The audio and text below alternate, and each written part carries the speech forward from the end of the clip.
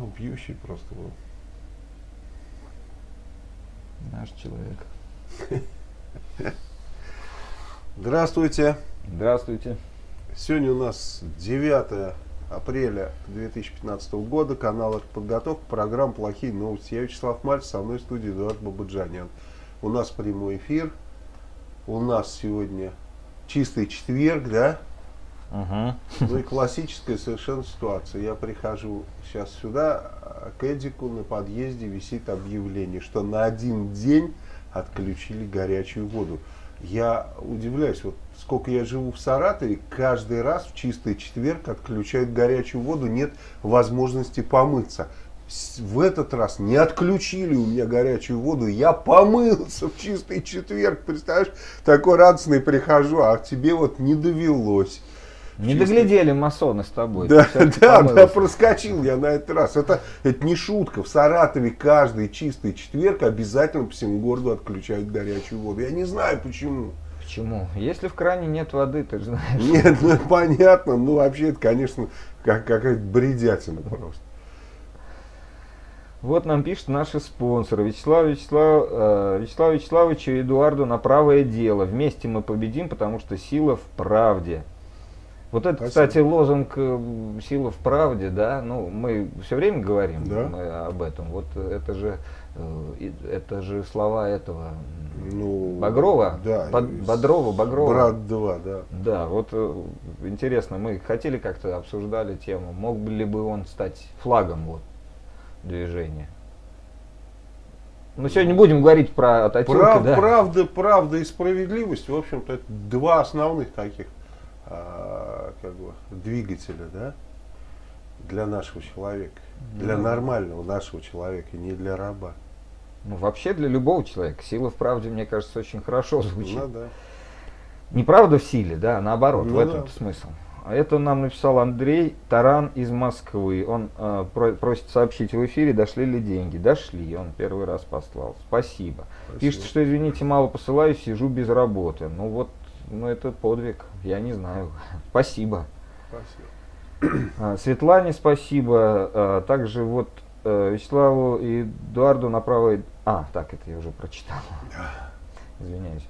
А, Здравствуйте, Вячеслав и Эдуард, и все, кто причастен к выпуску «Плохие новости». Вот первый раз, по-моему, человек обратил внимание, что еще есть люди, да, и мы как-то тоже это самое. Спасибо большое, и от их имени тоже. Сразу на душе хорошо, когда плохие новости в эфире.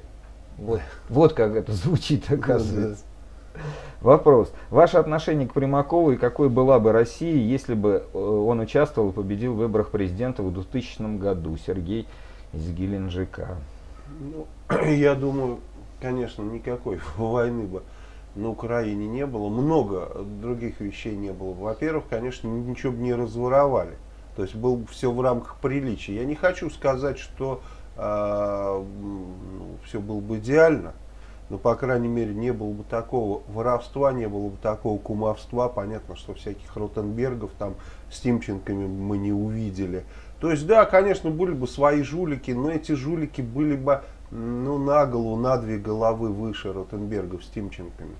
То есть они были бы не такие наглые и не такие тупые. Вот, э, потому что тоже очень важно, вот это не замечать, но это очень важный а- аспект, кто, кто тебя грабит. Кого ты допустил, чтобы он тебя грабил? Ну, если совершенно дебил, урод, ну тогда и ты, значит, такой, и тебе как-то очень плохо. А если это э, человек такой с интеллектом, да, э, какой-то т- с креативом, ну, ну ладно тогда, пу- пусть немножко пограбит. Так у нас мы рассуждаем, и потому что нам, конечно, не очень нравится чувствовать себя лохами. Ну, представляете, конечно, плохо, когда хоть кто-то тебя грабит, но уж совсем плохо, когда это ничтожество с тобой делает.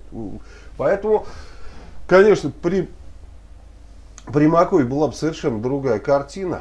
А, Трудно мне ее, так сказать, э, спрогнозировать. Ну, я не думаю, что была бы война на Кавказе. Я, я уверен, что не было бы никакой войны на Украине. Терроризма бы, я думаю, не было и так и далее. Ну, и вот этой вот э, в правоохранительной системе, ну, как, как бы эту э, назвать, тенденцию даже я не знаю. То есть, ну, вообще это создано полицейское государство. Что тут говорить? При Примакове бы не было полицейского государства, а, соответственно, не было бы всех этих геморроев, да? Ну, были бы какие-нибудь тоже другие. Нет, конечно. Без геморроев никак. А без, безусловно, были бы какие-то другие негативные моменты. Войны с Украиной, да. скорее ну, всего, ну, бы не было. Примаков не позволил бы Сто процентов бы не было. Руслан Живой пишет, это по, по, насчет вчерашнего нашего разговора, насчет йода учту. Да. Украинцы укрепляют фортификацию на главных направлениях. Российские войска на тех же направлениях сооружают мосты и понтоны на Северном Донце. Как гласит военная наука, концентрация – это война. А как вы думаете?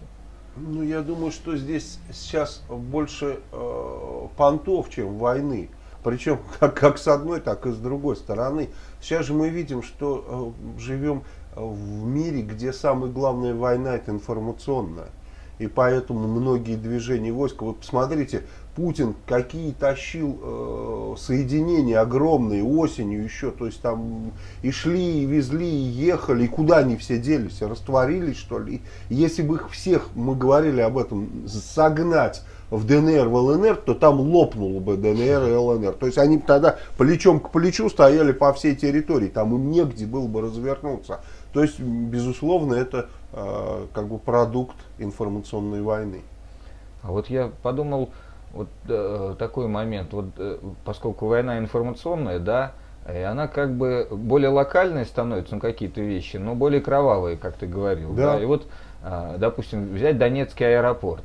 Если бы это не был камнем преткновения, если бы это не, не агитационный такой момент, может быть, там очень гораздо меньше людей бы погибло, и не так бы за него, грубо говоря, цеплялись зубами. Потому что в нем, как я понимаю, смысла стратегического Вообще особого никакого. нет, а есть Вообще, только информационный. Причем те люди, которые доказывали, что там огромное стратегическое значение, они сразу замолчали, как только определились с этим э, аэропортом. Оказался нет никакого стратегического. Ну и мы говорили изначально, ты помнишь, ну, летом да. там спрашивал, а что это? Ну, ну есть он там, какой-то аэродром. Тем более его перерыли вообще бомбы. Ну да, то есть когда он был аэродром, он еще какое-то значение имел. Там можно Легче сесть, новый построить, да. чем это установить. А да, сейчас все разбито.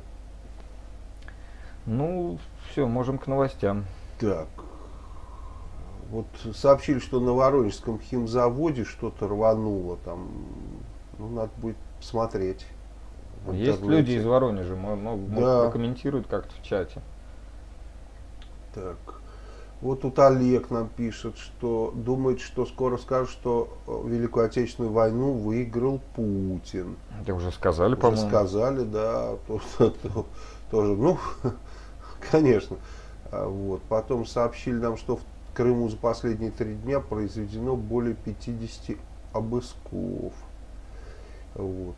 Э, так, вопрос задают. Ну, давай много новостей, вопрос, угу. когда а, отложим на позже. Значит, что сегодня, так сказать, из истории? Ну, важный такой момент, что в семнадцатом году большевики из Суриха выехали в этот день в опломбированном пресловутом вагоне. Угу ну и, соответственно, я думаю, там же э, Ленин свои апрельские тезисы писал. И вот когда мне очень часто говорят, а что вот, э, ты там по поводу Ленина там что-то говоришь такое, я говорю, ну возьмите, почитайте. Многие вещи же очень-очень даже сейчас э, работают. Вот, ну, например, вот, из апрельских тезисов выжимка такая, вот э, резкая критика войны, первая. Э, у Ленина кончить войну истинно демократическим, ненасильническим миром нельзя без свержения капитала. Можно? Нельзя, правильно. То есть то, даже ту, которая сейчас происходит. Вот. А, пишет, буржуазно-либеральная стадия революции завершена и следует переходить к революции социалистической, власть перейти в руки пролетариата, беднейшего крестьянства, никакой поддержки временного правительства, необходимо а, противопоставление блоку мелкобуржуазных оппортунистических элементов и так далее. А, вот. Аграрная реформа, банковская реформа, контроль Советов за общественным производством и распределением продуктов и так далее. То есть многие вещи, те, про которые мы говорим сейчас, не будучи коммунистами, понимаешь? Потому что это, ну, это рычаг, это механизм. Любая структура, которая сейчас а, появится на смену путинского режима, она будет следовать именно этому, либо все будет разваливаться. Так вот, в Милане вот четыре человека стали жертвами расстрела во дворце правосудия. Представляешь, там какого-то человека пытались, я так понимаю, засудить, и он своих подельников завалил, адвоката, а потом догнал еще и судью застрелил. Ну, тоже, чтобы уж совсем. Потом пытался на мотоцикле уехать, его поймали.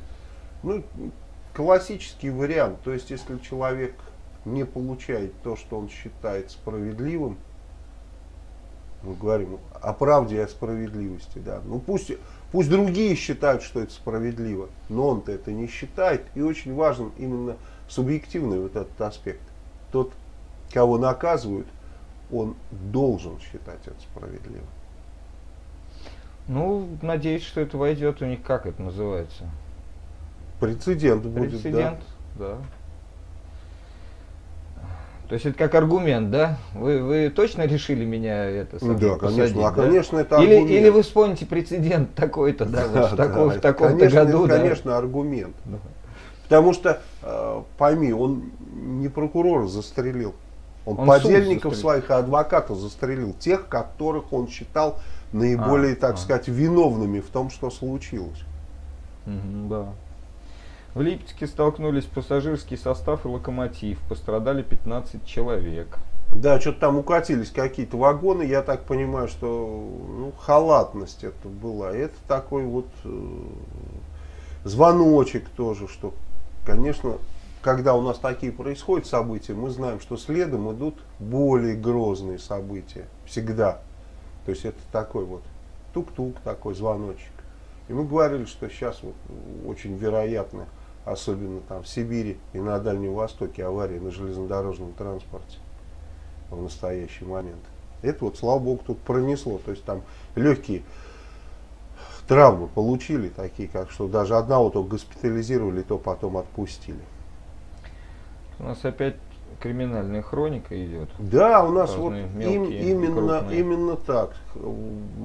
Абсолютно криминальная хроника. Вот в Подмосковье нашли трупы женщин, без голов и без ног двух, причем вмерзших в лед на Клязьме.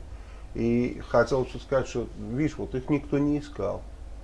Огромное количество пропавших без вести, эта тема у нас замалчивается. Даже точно никто не знает сколько. Некоторые специалисты говорят, что до 300 тысяч в год пропадает людей, 40 тысяч из них дети. Ну, официальная статистика говорит, что чуть больше 100 пропадает. Ну, тоже немало. Если предположить, что более 40 тысяч неопознанных трупов в моргах, а, как правило, когда неопознанный труп, даже если он криминальный, то никто и внимания не обращает. Ну что ж, ну, вот, вот такое жестокое самоубийство, как в том анекдоте, угу. да?